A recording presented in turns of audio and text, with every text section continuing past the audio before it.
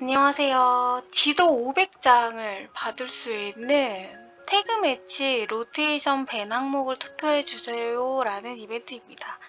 어려울 건 없고 단장님께서 ban 시스템에 적용되었으면 하는 항목 3개를 신중히 생각해서 투표를 하면 되고요. 8월 1일 월요일에 시작되는 태그 매치 시즌부터 적용될 예정이며 확정된 로테이션 리스트는 7월 21일 목요일날 업데이트 공지를 통해 안내해 드릴 예정입니다.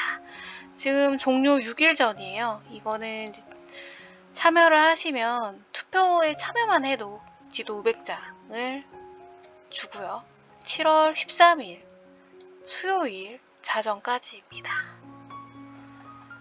음, 3개를 선택을 할 수 있는데 7월 13일까지 투표하시고 지도 500장 챙기시기 바랍니다. 오늘 7월 7일인데 7월 7일 날 참여 가능한 이벤트가 두 개가 있고 각각 지도 300장을 받을 수 있어요. GM 코코 틈새 퀴즈 300장 그리고 포넷학원 제목 짓기 거기에서 또 300장 있으니까 그 두 개의 이벤트도 챙기시기 바랍니다. 지도 500장 이벤트 안내드리고 저는 이만 들어가 볼게요. 또 만나요. 안녕.